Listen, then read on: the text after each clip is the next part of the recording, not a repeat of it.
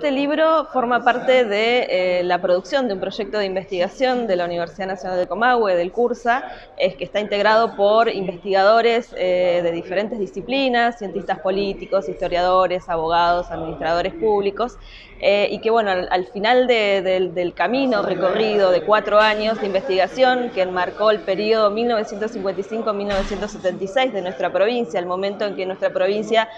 nuestro territorio se convierte en provincia,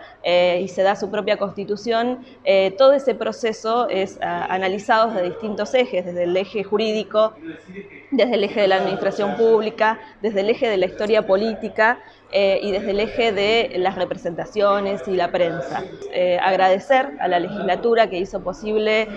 la impresión de, esta, de esta obra, Em,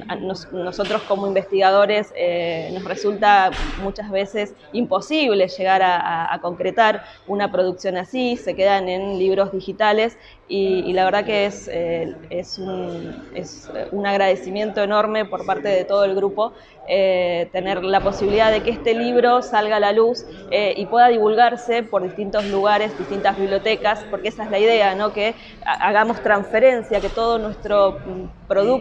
de investigación llegue a, las escuelas, llegue a los investigadores y llegue al ciudadano común eh, que esté interesado ¿no? en, nuestra memoria, en nuestra historia eh, rionegrina. La política que se dio en, ese espacio temporal entre el 55 y el 76, el rocazo, el cipoletazo eh, y la huelga de Ipazam. Y también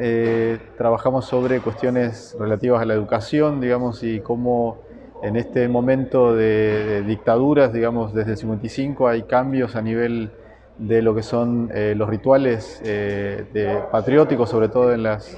escuelas, y también el cambio de nombres de calles, que a algunos les va a interesar un poco la historia eh, para la ciudad de Viedma. ¿no? Pero lo que intentamos hacer es abarcar toda la provincia en esa época, que bueno, hay poca bibliografía, quien eh, necesite, digamos, tener eh, alguna idea más acabada sobre la historia de Río Negro, que es historia reciente, ¿no? entre el 55 y el 76, van a poder acceder a ella mediante esta publicación.